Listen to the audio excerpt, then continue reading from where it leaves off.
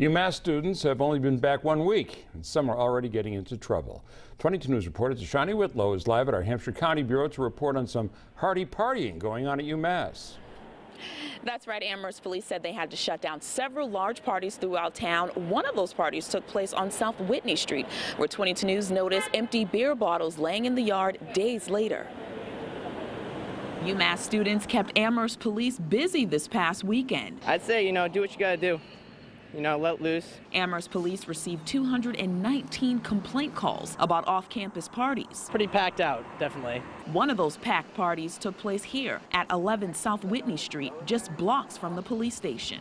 A neighbor that lives next door told 22 News there were between 150 to 300 people pouring out of this house at any given time Saturday night.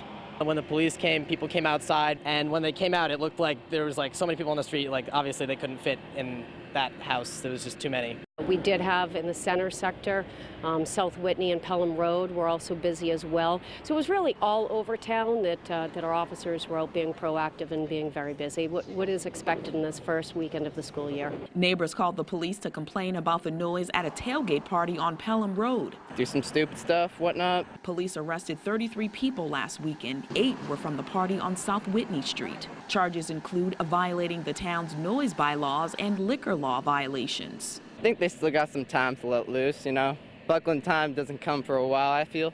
You know, later in the semester. Amherst police said this is normal for this time of year and officers are trained to deal with students who party too much. Reporting live from our Hampshire County Bureau in Northampton, Tashani Whitlow, 22 News.